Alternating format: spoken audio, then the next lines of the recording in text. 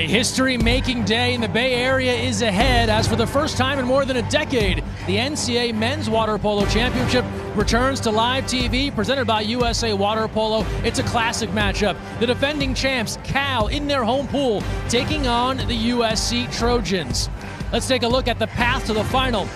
For USC, they're peaking at the right time. They fended off Princeton, took down crosstown rival UCLA, and now they face the Cal Bears, who just had to get past Pacific after earning a bye with a top overall seed. 1 1 the score here, just about four minutes to play in our first quarter. Trojans extended offense here. They take a look. This time it goes. That's a cross cage connect for Chris Sturdivant. Big time shot from Sturdivant. That's a bar in. We call that in water polo. Big time shot. Watch the replay here. Goes off the post, back into the goal. We're going to talk a lot about power play conversion today, Greg. Anytime you can have success in the power play, in the, in the player advantage situations, you're going to be successful in the pool. Big time conversion for USC to go up 2 1. Yeah. Bears getting to their bench. Jake Stone takes a look.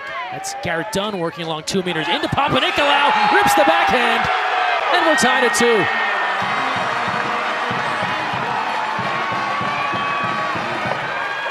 There you have it. The big man, we talked about him in pregame. You see it here. They force the ball inside. This is what we call a backhand in water polo. With his back to the basket, whips it around. Watch this positioning here. Gets it off so quick, right under the goalie's arm.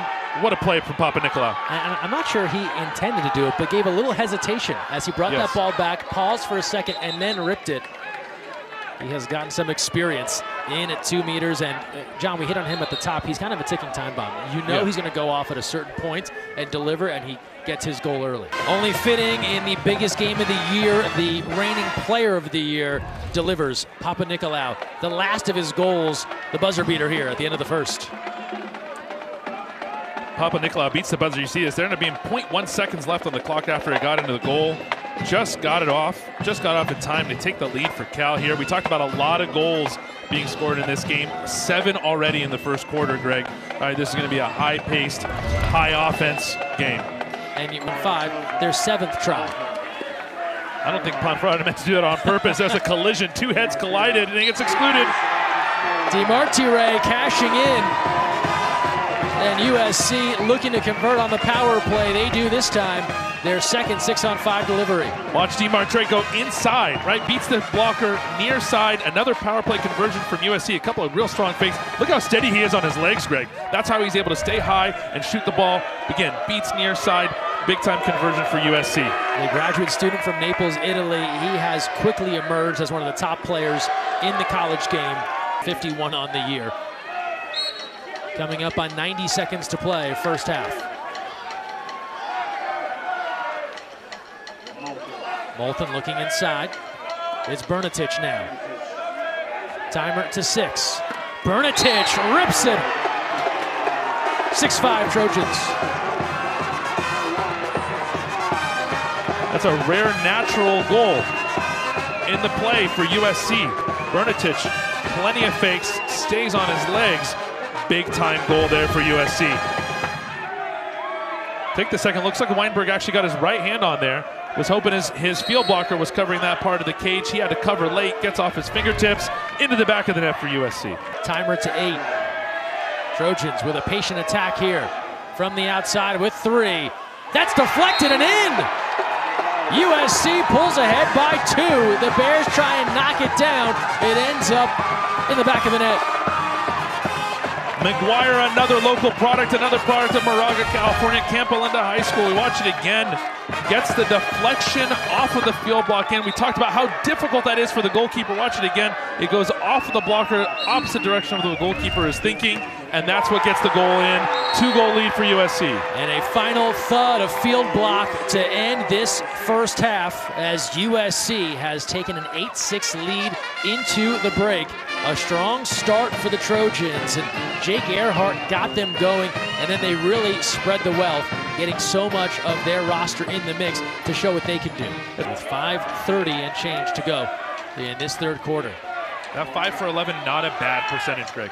You might find games and teams in 1 for 11, 2 for 11 in that situation. To have five goals there is one of the reasons why USC is in the lead. Roberto Valera trying to change things And this is starting to mirror the tempo we saw in the first quarter, where it is back and forth. Who can deliver the latest goal? This time it's Valera. Look at that replay from Valera. As you get a good angle here, he goes one fake, two fake, across his body into that low corner. Just again, a high level shot there from the Spanish shooter. Valera getting it done here for Cal. This is the pace we talked about. You thought the game would slow down in the second half, just maybe. Nope, both these teams want to keep going, push the tempo, push pace. And now the Trojans trying for a three goal lead. They got it! They put it to the far post and slam it home once again. It's Max Miller one more time.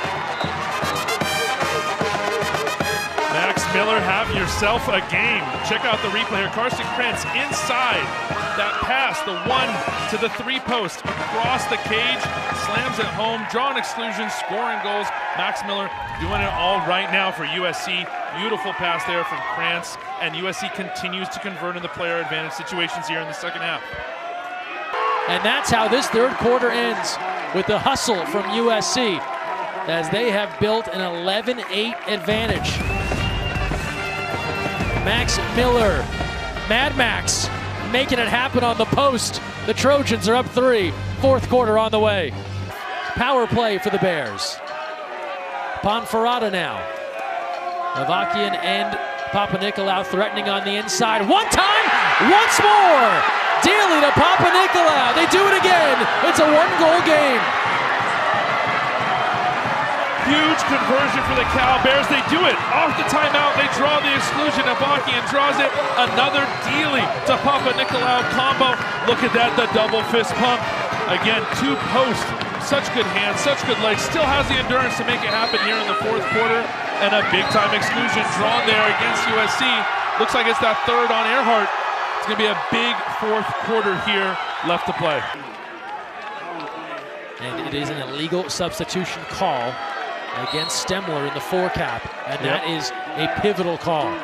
It's a six on five back for the Bears. And now a chance once again to tie this game. Ponferrada takes a look. A few fakes. He gets it back, looks to Valera. Not there.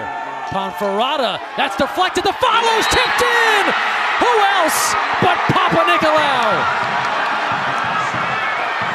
Ooh, big play there, crashing the boards. Papanikolaou. Look at that, cleaning up the garbage in front of the goal. And that call, that play, that mistake on USC side is going to pay a difference here. There's the block, and there's Papanikolaou crashing the boards. Offensive rebound, goal for Papa Nicolau. And this game is tied in the fourth quarter. Papanikolaou with seven goals.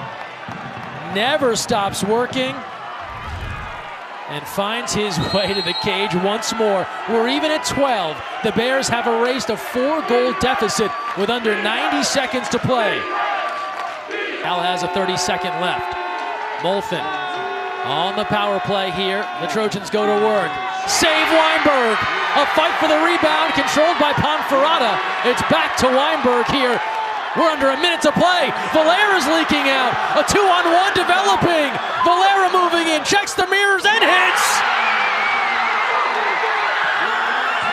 Cal has scored five in a row to go in front 13 12.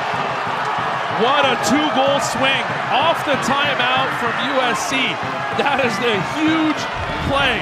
Watch the block from Weinberg, then he gets the lead assist to Valera. Takes no time, moves across the goal and puts it away. Double fist pump, young man, you earned it. What a comeback. The Cal Bears trailed by four in the fourth quarter. And they have roared all the way back. Up one now, 41 seconds left. USC, of course, still with a chance here to try and tie this game. Papanikolaou with a grip on that ball, an exclusion, and that will put a bow on this one. Papanikolaou taps it up, and he has taken home the title for the Cal Bears.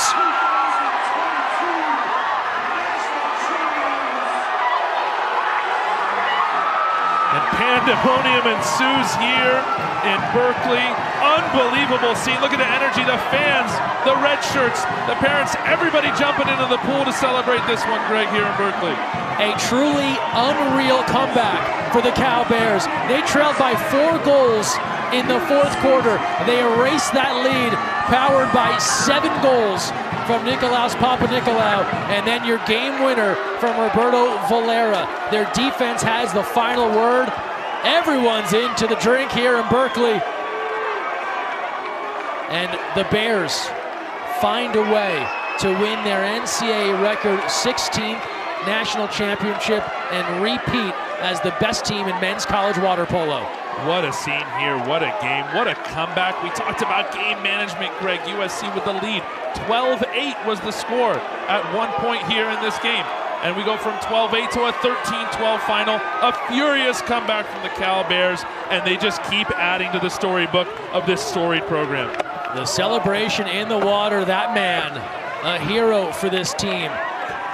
They wondered how could he top last year? It was his field block that secured the win against USC in Los Angeles to claim the title. In this one, it was his offense that powered this Bears team, and he'll sleep well tonight. A long day at the office for Papanikolaou, but his seven goals, they carry this Cal squad to victory in a truly stunning final in the NCAA Men's Water Polo Championship.